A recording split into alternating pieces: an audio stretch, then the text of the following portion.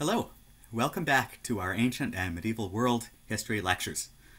Uh, we're heading into the last few lectures of the semester, uh, and we're going to be turning back to the development of kingdoms and society in uh, later medieval Europe uh, up until the rise of the early modern period in the 1500s. When we left off looking at the medieval history of Western Europe, uh, we focused on competition between church and state in the road uh, leading up to the Crusades, and we looked at the development of certain Western European kingdoms, uh, especially the kingdoms of France and of England. Today we're going to pick that story back up again, starting in the later 1100s uh, and tracing the development uh, of French and English royal institutions and rivalry between their kingdoms uh, from roughly the 1150s uh, to about 1400. Uh, then, over the next couple of classes, we're going to trace not only the rise of France as a great European power, uh, but also the emergence of Portugal and Spain as major powers in their own right uh, and rivals uh, for European dominance. So, the first thing we need to think about uh, we talked about the rise of uh, European uh, power in the lead up to the Crusades. we talked about the competition between the Pope and the European kings. Uh, by the 1100s, the Pope had managed to develop a crusading movement, uh, had managed to establish his authority uh, over the major kings of Western Europe, uh, and draw large numbers of European knights into a uh, quasi colonial movement in the eastern Mediterranean. The Crusades, of course, succeeded at first with the capture of Jerusalem in 1099 and the establishment of the Crusader states in the Levant. And one of the uh, aftermath, uh, one of the effects of this movement was the development uh, of an immense trading network stretching across the Mediterranean Sea uh, and linking the Western Mediterranean with the new Crusader states. This helped to drive the rise of banking institutions in Italy and in other parts of the Mediterranean world, and it had ripple effects on the trade and the economies of the surrounding European kingdoms. We also talked about uh, the development of uh, better farming techniques and the increase in the food supply uh, during the 11th century. Uh, and that phenomenon continued as we go into the High Middle Ages. By the 1100s, the population of Europe's major cities was on the rise, uh, and large centers like Paris or London uh, were starting to be capable of housing many tens of thousands of residents. Uh, you have a growing uh, farming economy in the countryside that's increasingly capable uh, of shipping its uh, goods to centers uh, at greater and greater distances. And all of this allowed the emergence of a vibrant European society, which is not unified by one central government, not even the power of the papacy, but which still sees a great amount of prosperity across most of Europe uh, by the year 1200. There are a number of important features that help to affect uh, later civilization that emerge in this period of European history. Not only the rise of Europe's banking institutions in the Italian city states, uh, but especially in the uh, cities of Europe. Uh, cities such as Paris uh, start to have opportunities for large scale building to show off their increasing wealth and the rising power of their monarchs. Uh, this is the grand age of Gothic architecture, uh, and structures such as the famous Notre Dame Cathedral in Paris uh, are uh, begun in the middle of the 1100s. By the early 1200s, you see the rise of the university uh, as a major feature uh, of this new urban culture in Western Europe. The University of Paris, chartered by King Philip Auguste in 1200, is one of the first great institutions of higher learning in Western Europe. Uh, and although this and other universities begin as church schools designed to train high clergy for participation uh, in uh, the administration of the church, uh, they quickly expand their offerings, uh, establishing colleges of medicine and of law, and starting to set up some of the foundations for a professional middle class in Europe's cities. Uh, in Europe's cities, you also see the rise of guilds uh, of uh, merchant uh, and craft businesses that allow private initiative in the urban economy. Uh, and increasingly, uh, Europe's cities have rights and privileges and wealth that is driven not by the kings, not by the nobles, or even by the church, but by a rising urban middle class. Uh, and this is a feature which will continue to develop uh, as uh, Europe's kingdoms and cities uh, gradually modernize. Now, in terms of the kings and kingdoms, uh, one of the greatest rising powers in the High Middle Ages is the Kingdom of France. When we last looked at the French royal power, uh, we had noted their relative weakness in the early Middle Ages. Uh, France had been uh, devastated in the Viking Wars of the 800s and early 900s. Uh, then a new monarchy, the Capetian royal family, had arisen in the late 900s, and they continued to reign for several centuries in high medieval France. You remember the Capetian kings that were limited to the territory directly around Paris at the beginning of their reign. Uh, and they faced the problem that they had very little actual control. They were essentially figurehead monarchs for much of the landmass of France uh, that had once, long before, uh, belonged to the Carolingian uh, dynasty. Under the Capetian kings in the 1000s, there were many regional nobles, uh, such as the Dukes of Aquitaine in the southwest, or Burgundy in the east, uh, or the Counts of Toulouse in the south, or the Dukes of Normandy and Counts of Flanders uh, in the north, who uh, essentially have just as much power or more power, have more land, castles, followers, and wealth than the actual king. The kings of France had to be practiced diplomats, playing the great nobles and landowners of France off against one another uh, trying to make advantageous marriage alliances, trying to gain a castle here uh, and a manor there, uh, but always recognizing that they lack the power to collect taxes uh, across the entire French landmass. Uh, they lack the power to establish a uniform law code. Uh, justice was enforced by the local nobility, regardless of the wishes of the kings. Now, this is the situation that would change over the course of the High Middle Ages, as the French monarchy matured uh, and came into its own territorial power. The greatest thorn in the side of the French Capetian kings was the Kingdom of England uh, and its associated territories in the Duchy of Normandy, uh, or uh, the, the greater part of northern France. You remember that in 1066, Duke William the Conqueror uh, the Duke of Normandy, uh, descended from Vikings who had settled on the French coasts. Uh, he sailed across the English Channel, conquered England, uh, and made himself its king. Now, the Norman dukes uh, are located, the center of their power in Normandy is only 100 miles away from Paris to the northwest. they're very close to the seat of French royal power, and yet they had more wealth, more land at their disposal. and not only that, with the English crown, uh, they have equal status to the French kings.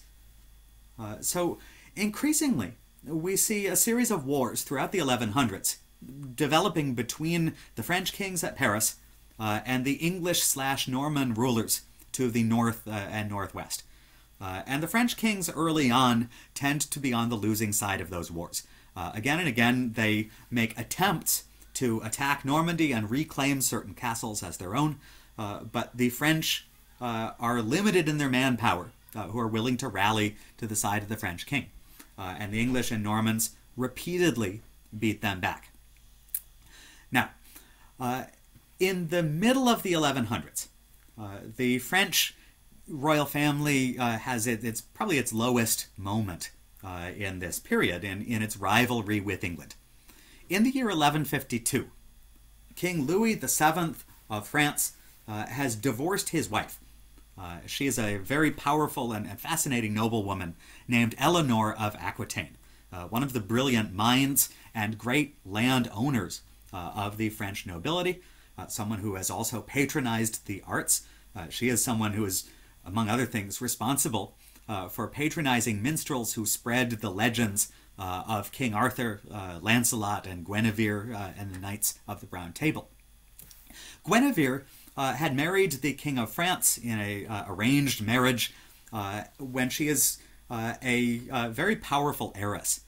her father had left her the territory of Aquitaine, which is an enormous, uh, wealthy landmass. It's approximately one third of French territory, uh, the southwest uh, of France and, and most of the Atlantic seaboard. Uh, and Eleanor, uh, as ruler of all of this, controls dozens of castles. She has numerous knights at her disposal. Uh, she is a powerful feudal noble in her own right. Now, again, she is married to Louis VII uh, for political reasons. Uh, the, they're trying to unite the French kingdom, uh, and Louis hopes that he can increase French royal power through his wife's ownership uh, of this massive Western territory. The problem was uh, they didn't like each other. Uh, Eleanor and Louis were a horrible mismatch in personal terms. Louis was a younger son of the previous king who had never wanted to succeed to the throne. Uh, he had been destined for the church until his older brother, the crown prince, had a riding accident and broke his neck. Uh, and Louis was forced reluctantly to become king. Uh, he wanted to spend his days and nights in prayer. Eleanor wanted to spend her days uh, enjoying the uh, the feasts and the fun uh, of royalty. she wanted to patronize the arts. she wanted to spend lots of time with famous, glamorous nobles. Uh, and basically, their, their marriage was a train wreck. Uh, the two of them tried to save their marriage, uh, like you do in the 12th century, by going on crusade together. Uh, they sailed together to the Holy Land during the Second Crusade, but this backfired horribly. The Second Crusade was a disaster, uh, and so was this attempt to salvage their marriage. Uh, on the way back, they were on such bad terms that they took separate ships. and when they returned to France, the church was unable to convince them to reconcile for the good of France. Uh, and they decided to call the marriage off. Now, one of the factors in their uh, bad personal relationship was that Eleanor had not been able to have any sons with King Louis of France. Uh, and Louis blamed her for this personally, thought it was due to her feminine stubbornness, uh, and believed that she was sabotaging him by not properly doing her duty and giving an heir to the French kingdom. So in 1152, uh, Louis and Eleanor divorce. And before the year is out, six months after her divorce, Eleanor remarries first. And not just anyone, she marries uh, the French noble who is about to succeed to the throne of uh, Normandy and England, uh, a man who became King Henry II of England. Uh, so this is a slap in the face to the French king. It, it's a good revenge move after a high medieval divorce. Uh, you divorce the king of France, of course you're going to marry the king of England uh, in order to get back at him. But to make matters worse, Eleanor uh, promptly got pregnant uh, and gave birth to a son. and then, as soon as a few months had gone by after the birth, she was pregnant again. She gave birth to another son, and then another, and then another. Ultimately, over the next decade, Eleanor bore four sons for the King of England. Uh, and not only that, her divorce from France separated her southwest French territories from the French kingdom and bestowed them on the English king uh, and Duke of Normandy. Uh, and what that means is that the French king is literally hemmed in by his archenemy and his ex wife, uh, who has married his archenemy. Uh, he does not control any of the territory in northern France or in the western half of France. Uh, and uh, while he tries to uh, make war uh, again on Henry II, uh, Louis does not come off well in that conflict. So at this point, it, looks as though England is poised to become the great power of Western Europe in the second half of the 1200s. But family politics uh, have a way of, of taking uh, rapid and dramatic turns. Uh, and this is what happens uh, just when it looks like things couldn't get any worse for the French. Uh, the marriage dynamics within the English royal family uh, take a bad turn. And ultimately, that plays into the hands of the French and helps to play a part in the French royal revival. So, Henry and Eleanor, the power couple in charge of England, Normandy, and Aquitaine, had a very good marriage for about a decade or so uh, but then it started to go downhill. Uh, and uh, it went downhill very quickly uh, when Henry bored of Eleanor uh, after she had done her duty and given birth to children, uh, and as she started to uh, age uh, just a little bit, past her, her prime childbearing years, uh, Henry began to go through a series of mistresses, and he began to grow increasingly upset at Eleanor, who insisted on being treated as a noble equal and playing her role in royal councils. they began to quarrel. Uh, and as their quarrels escalated, uh, eventually Henry of England locked his wife, uh, Eleanor, in a uh, dungeon uh, in a castle in France. Now, this dynamic then lasted and worsened over the next few decades, uh, over the, the later 1100s. Um, Henry did not divorce Eleanor, he, he kept her imprisoned for a number of decades um, but would temporarily let her out. Uh, the royal family would get together and have Christmas dinner, uh, and then uh, after a few days of uh, uh, release to visit with her kids, Eleanor would be locked back up again. This drove a dynamic in which Henry and Eleanor's sons, however, began to sympathize with their mother and to hate their father, as well as sniping at each other.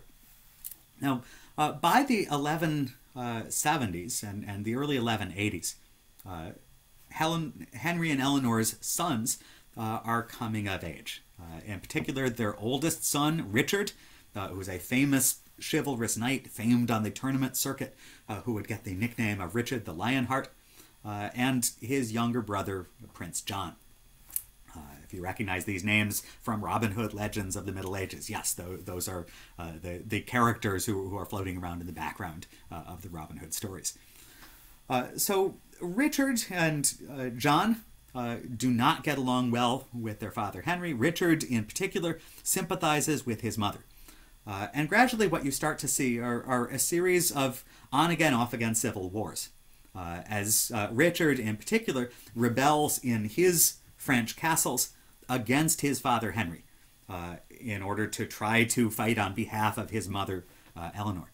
Eleanor also manages to slip messages out of her prison cell uh, and convince her ex, Louis of France, to lend aid to Richard against Henry.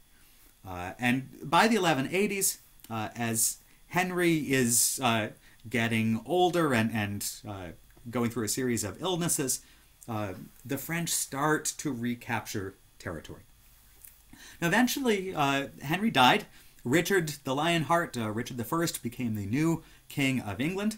Uh, Louis of France, meanwhile, had remarried a second wife, uh, and he had a son, Prince Philippe Auguste, uh, who then grew up and became the next king of France uh, after he died.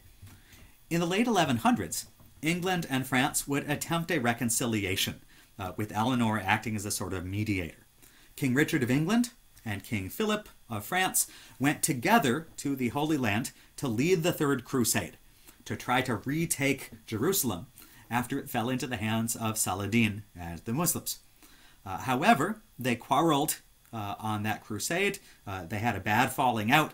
Um, Philip of France uh, pulled all of the French forces out of the crusade and went home. Uh, and King Richard uh, was forced to try to fight the crusade on his own. He was able to defeat Saladin in battle, but not to capture Jerusalem. and finally, he negotiated a compromise so that Christian pilgrims could visit the city, which would remain in Muslim hands. Uh, and then Richard went back uh, to his kingdom. On the way back, he got kidnapped um, on uh, the initiative of an Austrian prince who was allied with France. Uh, and Richard was held hostage for several years while England, uh, under his brother uh, John and his mother Eleanor, tried to raise a ransom for him. When he was finally released in a very bad mood, Richard went back to England, raised an army in England and Normandy and Aquitaine, and attacked the French. Uh, however, he is the sort of gallant medieval hero who liked to lead from the front lines, and while he was attempting to take one of King Philip's castles away from him, uh, Richard got shot in the head by a crossbow, uh, and this proved fatal. With Richard's death, the King of England uh, became John, uh, and John uh, goes down in history as one of the most incompetent monarchs of the Middle Ages. he has the unfortunate nickname of John Lackland for all of the territory that he lost in his disastrous wars against King Philip of France. Uh, when John comes to power, uh, he continues his brother's wars uh, against Philip Augustus, uh, but Philip Augustus, Philippe Auguste uh, of France, easily outmaneuvers King John. Uh, he recaptures vast numbers of French castles from the English and Normans. and above all, in 1204, Philippe Auguste led a huge army of French knights. They bring up massive siege weapons, including trebuchets, and they recapture uh, the castles at the center of Normandy, uh, especially a great castle called the Chateau Gaillard uh, that uh, controls access to the uh, lower Seine River Valley. With these victories, the French essentially push the English out of Normandy into the English Channel. Uh, the English keep Eleanor's territories in Aquitaine in the southwest, but they lose their other French land holdings. And Philippe Auguste uh, gains a great deal of territory and power. Uh, from this point, from the early 1200s on through the 1200s, uh, this is a great century for the French crown. Uh, Philippe Auguste starts universities in Paris. Um, he gains a huge amount of control over the new French territories that he's captured. He starts to appoint royal officials to oversee justice and to supersede local officials and local laws. So you start to see the beginning of a, a, centralizing process in France, where the king is actually in charge of other parts of the country. Uh, and above all, through the 1200s, the French kings begin claiming new rights of taxes uh, all over uh, the countryside of France. And increasingly, they have the power, the castles, and the men to force local nobles to pay up. Uh, and to the more finances they gain control of, uh, the stronger they are. England uh, has a parallel period of weakness and decline for the monarchy, um, which is really uh, above all seen uh, in the famous uh, document called the Magna Carta, issued in 1215. King John uh, is not only disastrous in trying to defend England's territory from France, he also makes enemies of the church uh, and of the nobility and of the merchants in the cities like London uh, in England. Uh, he is an utter disaster uh, in his kingdom. He's both incompetent and tyrannical, uh, and ultimately all uh, walks of English society revolt against him in 1215. the king is hemmed into a corner and actually forced to surrender and sign a document that the nobles, the clergymen, uh, and representatives of the city merchants in England put in front of him. Uh, and this is the Magna Carta, or the Great Charter. The Magna Carta is a key moment in English legal and social history, uh, and it uh, sets the foundations for concepts of uh, legal rights uh, that ultimately underpin later English society and American society. Uh, a lot of the rights and privileges that we see claimed in the era of the American Revolution go back to that medieval document. The Magna Carta uh, gives all sorts of freedoms uh, to English citizens, notably within the legal system. Uh, they can't be imprisoned without trial. Uh, they have a right of habeas corpus. They have a right to know uh, what charges are brought against them. Uh, above all, the king can't tax without consent. and this sets up the foundations for the creation several decades later of a permanent body of English nobles and clerical and uh, merchant representatives uh, known as Parliament. Uh, parliament, this concept of a legislative body with the power of the purse, uh, that the king has to ask permission before he can ask for any tax, uh, and therefore before he can fight wars, because you need money uh, in order to pay and, and, equip soldiers. Um, that idea of parliament is a permanent check on the power of English kings. Uh, and uh, again, its roots lie in the weakness of John uh, and the failures of the English against the French in the early 1200s. Now, another losing power in the Europe of the 1200s, especially as we get towards the end of that century, is the Catholic Church and the power of the papacy. The popes of Rome uh, had been at the height of their power in the early Crusade era, uh, in the 1100s. Uh, the, the kings of Europe had basically bowed before their authority uh, and accommodated with them, given them the power to appoint bishops. Um, given them, for the most part, freedom from taxation and interference in church lands uh, by secular monarchs. Uh, but by the 1200s, uh, that power of the church starts to be challenged again uh, by rising kings who are strong enough to do so. Uh, above all in France. Uh, by the later 1200s, the French kings who are increasing their power of taxation start taxing church lands, as well as those that belong to their nobles. the popes attempt to resist this. they attempt to say that, that only the church can take revenues from church lands, but increasingly the, the French kings have the power to ignore church protests. This uh, reaches a climax in the early 1300s. In the year 1309, there's an extensive dispute between the Pope and the King of France. Uh, the Pope's attempt to excommunicate the kings of France, to try to get the king to stop taxing church lands. And in response, in 1309, uh, the King of France sends French knights over the Alps into Italy and they kidnap the Pope uh, and drag the elderly Pope back to France and force him to back down on his challenge to the French monarchy. Uh, the Pope died soon thereafter, uh, and intimidated by the power of France, uh, French or, or church officials have an election for the new Pope, and they end up electing a French bishop or cardinal, uh, as the, the new head of the Catholic Church.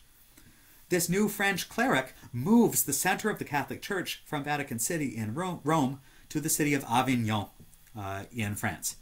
Uh, and from 1309 to 1377, uh, the Catholic Church is now based in Avignon. Uh, now, this works very well for the French. Uh, again, it goes along with the height of French medieval power. But on the other hand, it diminishes the power of the Catholic Church. And increasingly, as France fights wars against England and other European powers, uh, those who are not French begin to perceive the Catholic Church no longer as a genuine spiritual body of leadership, but more as a partisan body uh, that does whatever its French puppet masters tell it. Uh, and so the Avignon papacy is, is uh, a period uh, of weakness in church authority, and you start to see intellectual challenges uh, to the church, uh, which lay some of the theological underpinnings for the later Protestant Reformation. Now, the 1300s uh, are not as uh, good a century for France or, or anywhere else in Europe. Uh, a famous history of this uh, period has referred to it as the calamitous 14th century. Uh, and this is because of a number of things that, that uh, start in the 1330s and then especially the 1340s. Uh, during the 1330s, uh, you have a new phase in the violent rivalry between France and England. Uh, the English kings uh, have had a century of humiliation at the hands of the French. Uh, they've tried to make up for this by attacking countries on their Celtic fringe, by conquering Wales and parts of Ireland and Scotland. Uh, the Scotland part didn't work so well that the Scots rebel and fight back and establish a powerful independent monarchy under Robert the Bruce uh, in the early 1300s. But the English monarchs uh, basically take out massive financial loans from Italian bankers in order to pay for large armies uh, that Parliament won't pay for through taxation. And in 1337, the King of England, named Edward III, uh, launches a bold new war against the French. Uh, in that year, there's a uh, royal succession. Um, power passes uh, out of the hands uh, of the, the old line of the Capetian royal family uh, and into a, the hands of a cousin of the royal family named Philip VI. Due to various marriage alliances, uh, there's French royal blood also within the English royal family tree. Uh, and Edward III of England uh, makes the bold claim that he should also get to be King of France. Uh, he still has lands in Aquitaine, uh, and in 1337, he brings English soldiers into France, tries to reclaim northern France for England, and actually claims that he should be the ruler of the entire French monarchy and nobility. The French, of course, uh, refuse to accept this, uh, don't give this any validity. This begins a bloody conflict known as the Hundred Years' War, which in fact lasts for more than 100 years, uh, until 1453. Now, in its early phases, uh, the English win, win some surprising victories. Uh, they destroy a French fleet in the Channel uh, in 1340. Uh, English uh, armies land in France, raid and devastate the countryside, murder peasants, and burn and loot, uh, and take some Norman cities.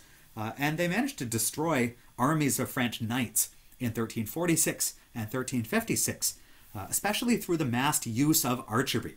The French are fighting with huge cavalry charges of knights. Uh, the English find that they can arm peasant archers with longbows uh, with very high rates of fire. Their bows fire powerful arrows that can penetrate armors, armor, and they, they slaughter the charging French nobles. Now, the French take massive losses, but the English aren't strong enough to capture Paris and the center of the kingdom. Uh, and this starts to develop into a brutal uh, and stalemated war. In 1347, uh, Europe also experiences the sudden, terrifying pandemic uh, of bubonic and pneumonic plague, known as the Black Death. Uh, we've already mentioned that this has been raging along some of the trade routes uh, reaching from China and the Mongol Khanates through the Middle East. Uh, that this is devastating Mamluk Egypt and its empire uh, from 1347 on. Uh, it simultaneously follows the trade across the Mediterranean, uh, hits Italy, uh, and then spreads like wildfire through southern Europe and then across all of Europe from 1347 to 1351. Uh, you can read the statistics and all sorts of grim and gruesome plague accounts in this age of pandemic. I don't think we need to go into massive detail uh, on these symptoms. Um, what is key to know is that the plague devastates European society. It, it reverses a couple of centuries of large scale population growth. Uh, it kills between 30% and 50% uh, of the people in uh, the European continent. Uh, both France and England and all of the surrounding European powers, large and small, are devastated uh, by the outbreak. The social consequences uh, are enormous. Beyond the massive loss of life, we see popular religious movements growing, trying to avert the wrath of God. of course, medical science is unable to stop uh, this plague without antibiotics. There's nothing uh, they can do to stop the, the spread of this um, through infected fleas uh, and rats, which easily can slip past quarantine boundaries. Um, so, mass religious movements such as the flagellant movement, uh, people who leave cities and wander the countryside beating each other with whips uh, and uh, calling for penitence in mass social grouping. Uh, obviously, these actually further spread the disease and, and, mass panic and violence that goes with it. There are outbreaks of religious violence uh, and large scale massacres of Jewish minority communities in Europe's cities uh, by panicked Christian groups who look for scapegoats to blame for the horror inflicted on them. Uh, eventually, the plague would subside, but would then cycle back and hit again and again in repeated outbreaks through the rest uh, of the Middle Ages. One of the phenomena that we see in the aftermath of the plague uh, is uh, a gradual increase in mobility in Europe's society for the survivors. Um, those who don't die in the massive die-outs of the bubonic plague find that there are more job opportunities um, that with the population massively decreased, um, the food supply from the farms in the countryside is actually sufficient to feed the people who are left and produce surpluses. Um, there are greater opportunities for peasants to leave the farms where they've been bound for generations uh, and move into towns. Uh, there are new jobs and higher wages, again, for those who are left alive to take them. One of the greatest areas of hope in the aftermath of the, the horror of the Black Death uh, is in the city states of uh, Renaissance Italy. Uh, you will see a, a, period of massive social rebirth and economic revival in Italy a few decades after uh, the plague had devastated Italian cities. Uh, the banking industry uh, rebounds by the late 1300s, um, but above all, you have a new social uh, confidence and social mobility for a growing middle class.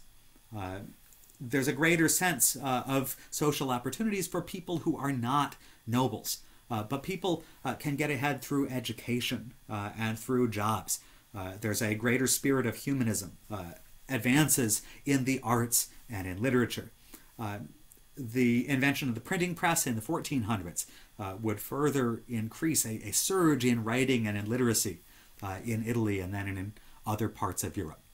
Uh, so there is hope in the wake uh, of pandemics uh, even more horrible than those uh, which we are currently going through ourselves. thank you for your attention, and that's all for today's lecture. in our last couple of lectures, we're going to finish out the story of late medieval England and France and think about the rise of Portugal and Spain.